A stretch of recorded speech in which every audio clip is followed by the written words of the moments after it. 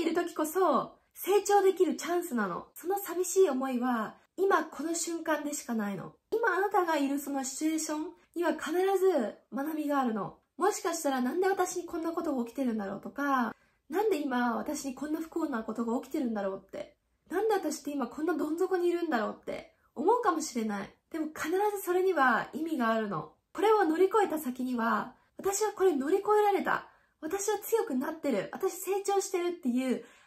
新しい別人になってるのね。Hi, welcome back to my channel. いつもゆかです。今日は寂しさを感じなくなる方法を10個のステップで教えていきます。一つ目、あなたは一人でいることが悪いことだと思ってるのね。一人イコール孤独だって私はずっと思ってたんだけど、そうやってよくよく考えてみたら、誰が決めたことなの？誰が一人イコール孤独だっていう風に決めつけたの？それは勝手に私が決めてたのね。私がずっと一人でいることは寂しいことなんだって。周りにどう思われてるんだろうって。周りになんかあの人寂しそうでかわいそうだよねって思われるのがすっごく嫌だったのね。だから見え張っていつも誰かにくっついてたりとか全然好きじゃない人たちと一緒に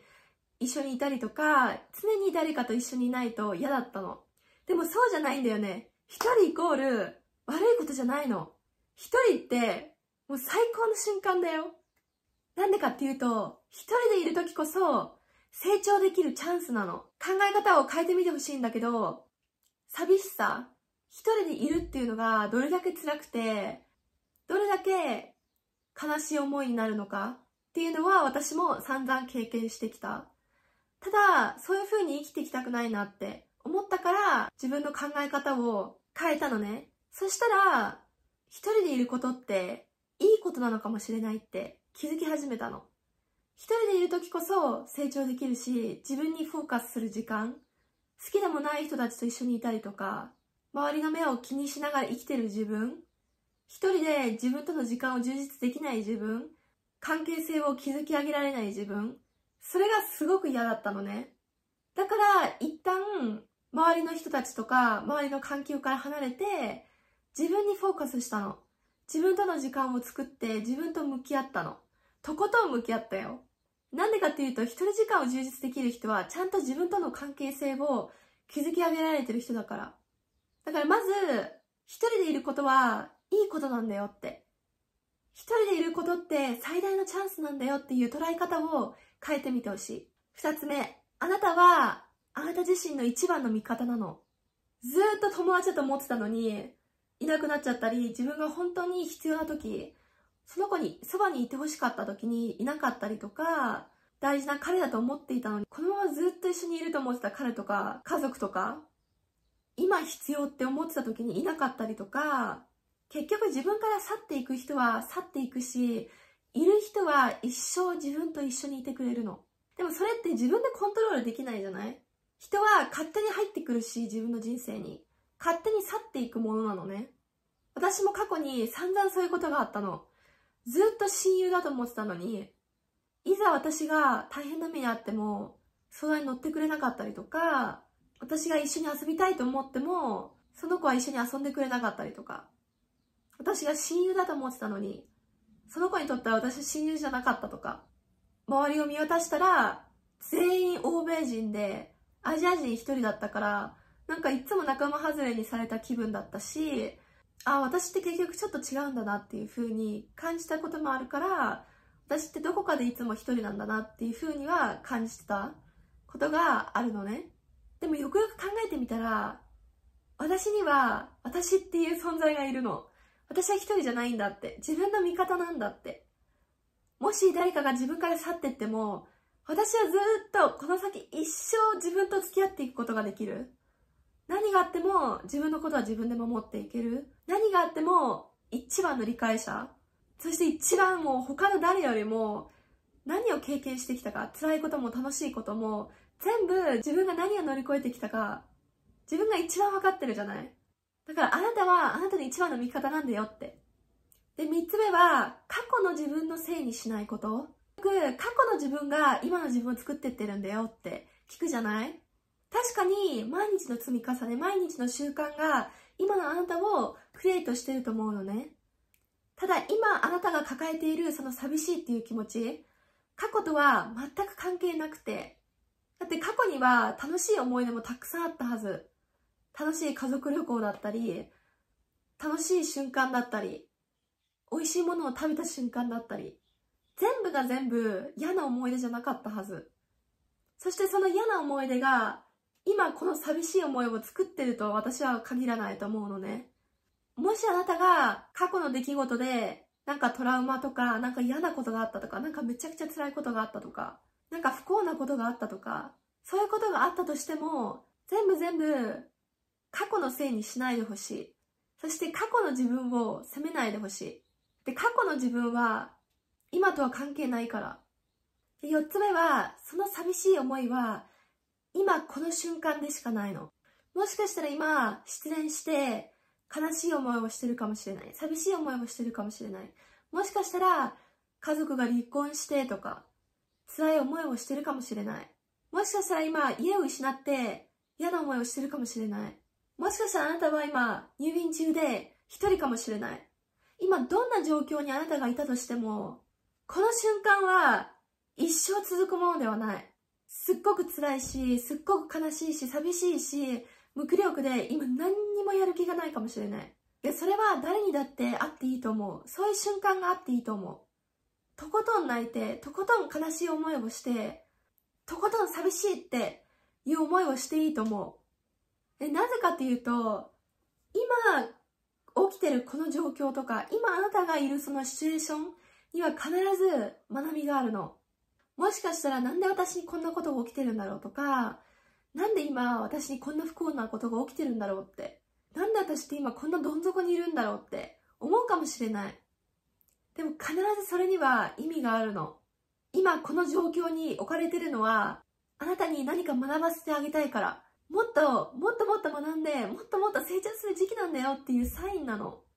私も過去にね、もう大好きだった彼と音信不通になって、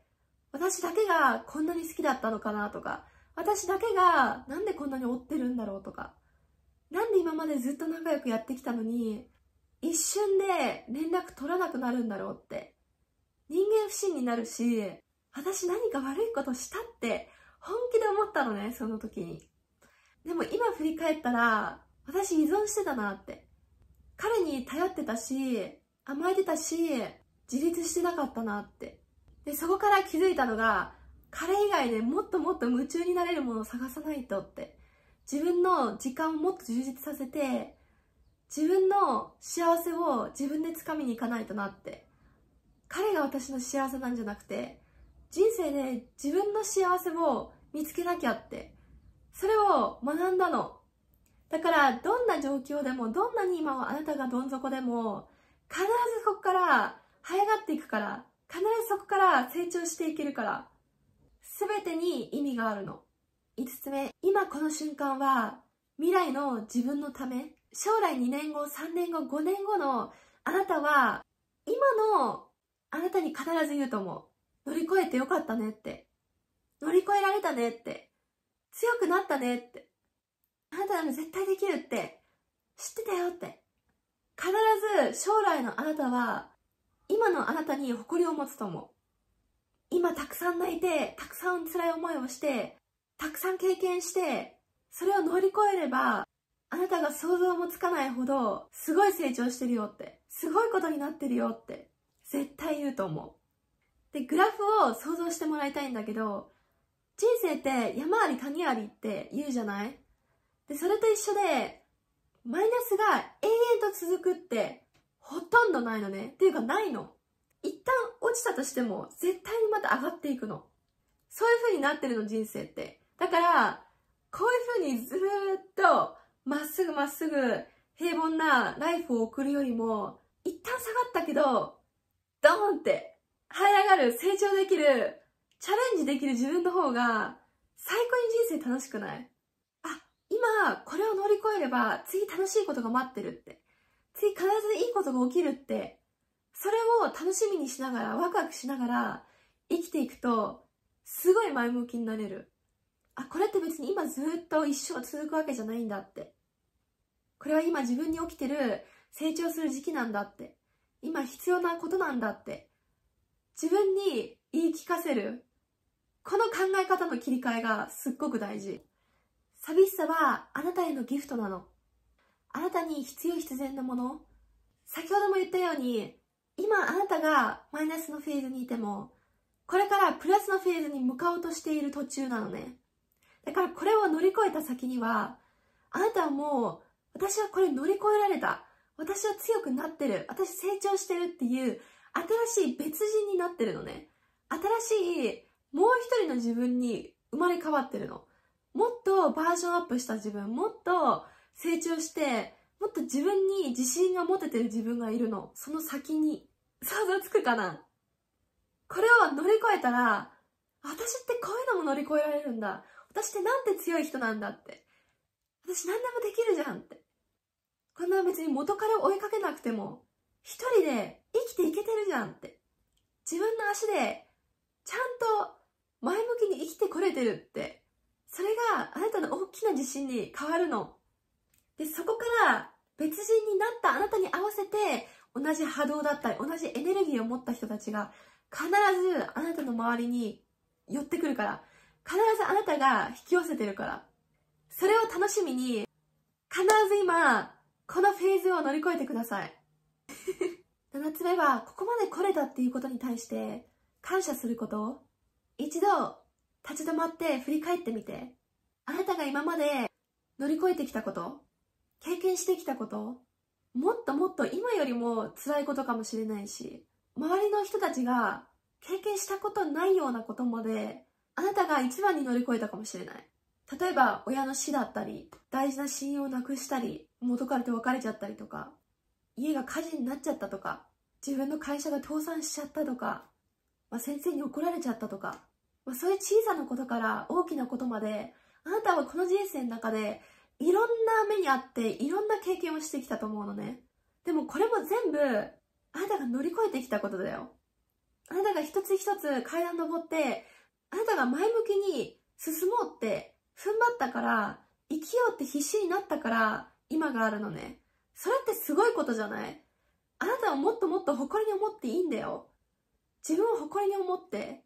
そんなこと周りからしたらできないとか諦めたりとか逃げたりする人なんて山ほどいるよ。でもあなたはそれと向き合ってここまで来たんだよ。まずそこを自分で褒めないと。自分のこと褒めてあげて。だから私なんてもうダメだとかもういいやとかもう人生諦めようとかまだ私なんて何にも成し遂げてないのにとか友達もいなくなってとか両親なんて私のこと理解してくれないしとかじゃないのよ。今までもたくさんそういうことが起きてきたじゃない？それをあなたはもう乗り越えてるの。だから今このフェーズも必ず乗り越えられる。絶対絶対できる。もうすごい強みだしすごい根性だしすごい才能だと思う。あなたはこれからも強く生きていく力があるからそれを信じてあげて。8つ目はここからがスタート。いつもいつも常に自分に言い聞かせてほしい。まだ何にも始まってないじゃんって。もしかしたら今あなたはソファーで寝っ転がりながらこの動画を見てるかもしれない。もしかしたら電車に乗って揺られながら見てるかもしれない。もしかしたら寝ながらゴロゴロしてるかもしれない。何してるかわからないけど、まだ何も始まってないよって。あなたは今悲しいフェーズにいて、自分の心にさえまだ向き合ってない、頭では寂しい寂しいって常に心が満たされてない状態。まだ何にも動けてない状態。何を求めてるのか、何が足りてないのか、なんで寂しい思いしてるのかっていうのが分かってないはず。つまりね、あなたはこれから何でもできるんだよって。ゼロからリセットして何にでもなれるし、何でもできるし、やろうと思えばどこにでも行けるんだよ。だから、ここからどうしていきたい？同じポーズで、同じポジションで、同じ気持ちを抱えながら過ごしていたい？同じ状況で来年も過ごしていたい？いや、そんなことないよね。そんなことないはず。これからももっともっと人生良くしていきたいとか、こんな自分もう嫌だとか、もっともっと変わりたいって思ってるはず。じゃないと、こんな動画見てないよね。だから絶対に、ここからだよ、まだまだこれからだよって伝えたい。9個目、あなたはどうなっていたいの？先ほども言ったように、将来の自分、それは明日でもいいし、2日後でもいいし、1週間後でもいいし、いつまであなたはその寂しい気持ち、悲しい気持ち、辛い気持ちを抱えて過ごしていくのかそれを自分で決めるの。今日一日泣いて、今日一日ずっと落ち込んで何にもしないっていう日を作ってもいいの。いつまで引きずるのか。明日は1ミリでも進んでいたい自分でいたいのか。それとも明日も同じ気持ちでドヨーンとしながらダラダラ過ごすのか？そこはあなたが決めないと。例えば、普段してないことをしてみるとか、今日から少しアクション取っていきたいなって思う人は考えてみて。あなたはどんな時に幸せを感じるのか、どんな時に自分は楽しいなって、これしてる時の自分が好きって思えるのか、これしてる時すごい気分上がる、これを見てる時すごい笑っちゃうとか、絶対にあるはず。友達と会ってる時でもいいし、お笑い番組見てる時でもいいし、絵を描いてる時でもいいし、料理を作ってる時でもいいし、美味しいもの食べてる時でもいいし、何をしてる時楽しいなって、これやってる自分好きだわって、どんな時に思う？ちなみに私は、食べてる時幸せって感じるので、すっごくイライラする時とか、もうめちゃくちゃ落ち込んでる時とか、もう悲しい時とか、もう散々泣いて食べてます。美味しいものを食べてる時こそ幸せだなって感じる瞬間です。で、ラストあなたは一人じゃないっていうことを伝えたい。あなたは一人じゃないよ。もしかしたらこれを聞いて、でもエリカには私のこんな辛い気持ち、こんな悲しい気持ち、こんな寂しい思いなんてちっぽけもわかんないと思うって思ったかもしれない。もちろんわからないし、もちろん同じ経験をしてないから、今あなたがどんな状況にいるのかもわからない。でも理解しようとはしたいのね。なんでかっていうと私も辛い思いとか悲しい思いとかずっと一人だなって、ずっと寂しい思いをしてきた自分がいたからなの。でもそういう時こそこういうふうに前向きな考えだったりとか、こういうふうに誰かが私に言ってくれたら、もっと早く立ち直れたんじゃないかなっていう言葉がたくさんあったの。で、私はあなたに言いたいのは、あなたは一人じゃないよって。絶対にあなたの周りにあなたを気にかけてる人、あなたを大事にしたい人、あなたとこれからも関わっていきたい人、一人でもいるから。一人でも必ずいるから。少なくとも私は信じてるし、誰もいないってあなたが思ってたとしても、私がここにいるから、何度も何度もこの動画をリピートして、もう頭に叩き込んでください。あなたは一人じゃないよって。あなたがこれからも変われるって、絶対この状況から抜け出して成長できるって、私が一番信じてます。Thank you so much for watching this video. I hope you like it. いつも最後まで見てくださって本当にありがとうございます。毎週水曜日と日曜日はポッドキャストでも配信しているので、もしこの動画を見れないっていう人は、ぜひオーディオで聞いてみてください。そして私のセルフワークブックも下にリンクを貼ってあるので、ぜひ10分間自分ともっと向き合ってみたい、自分のやりたいことをもっと明確にしていきたいとか、自分との関係性をもっと築き上げていきたいっていう人は、ぜひ下のセルフワークブックをやってみてください。もし誰も言ってなかったら、I love you and I believe in you As always, make someone say even better, and I will see you in my next one. Bye!